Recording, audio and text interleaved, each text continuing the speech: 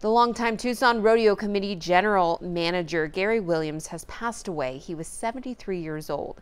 Williams, who retired in 2021, served in the role for 26 years.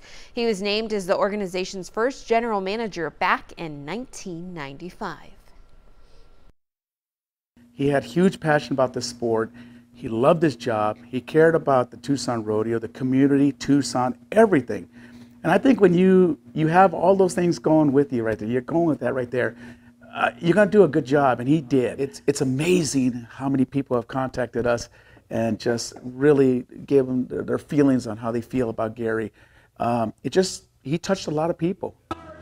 Williams also served on the Pro Rodeo Committee Executive Council representing more than 600 professional rodeos in North America. The Tucson Rodeo hopes to honor his life and career at next year's event.